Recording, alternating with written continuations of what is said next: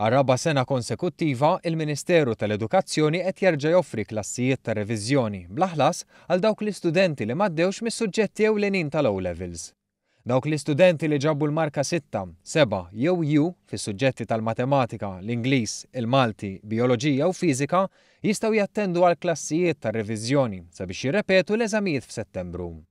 Il-koordinatur tal-klassijiet ta' reviżjoni Mariella Galea spjegat kif sena wara l-oħra l-istudenti li attendew għal dawn il-lezzjonijiet mhux biss tejbu l-marki iżda komplew ukoll għaddejjin bl-istudji tagħhom f'edukazzjoni post-sekondarja. Fil-fatt, is-sena li għaddiet, minn 770 student li attendew għall-klassijiet ta' reviżjoni b'xejn, 650 student tejbu l-marka tagħhom.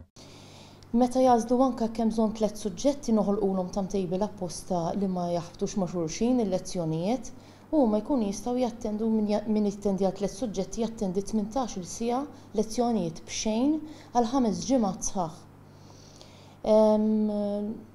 Nistgħu ngħidu li mill-esperjenza tagħna dawn il-lezzjonijiet intensivi għenu ħafna lill-istudenti fil-passat biex fil-fatt iġibu riżultat aħjar fir-resits.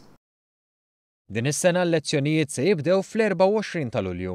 Għal ħames ġimgħat, l-istudenti se jkollhom sitt sigħat lezzjoni fil-ġimgħa għal kull suġġett u student jista' jattendi lezzjonijiet sa massimu ta' tliet suġġetti.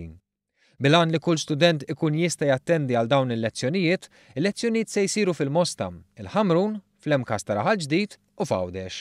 Lil kull student u studenta nagħtuhom il-past papers tas-sec ta' dawn l-aħħar ħames snin ta' kull suġġett. Jiġifieri jekk pereżempju jiġu jattendu għall-Malti, se jkollhom is-sec past papers tal-aħħar ħames snin b'xejn.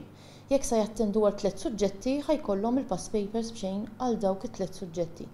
Ovvjament dawn jingħataw il għaliex jaħdmu ħafna fuqhom fil-lezzjonijiet.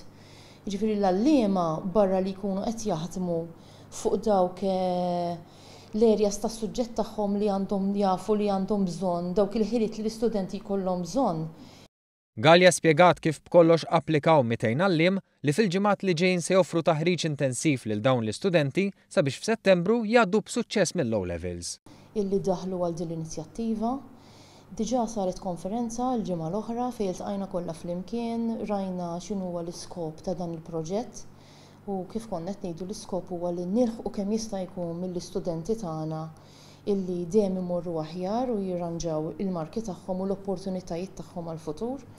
L-applikazzjonijiet għall-klassijiet ta' reviżjoni jistgħu jinkisbu minn fuq is-sit youthguarantee.edu.mt/revision, applikazzjonijiet li jagħlqu nhar it-Tnejn fis-siegħat ta' waranofsinhar.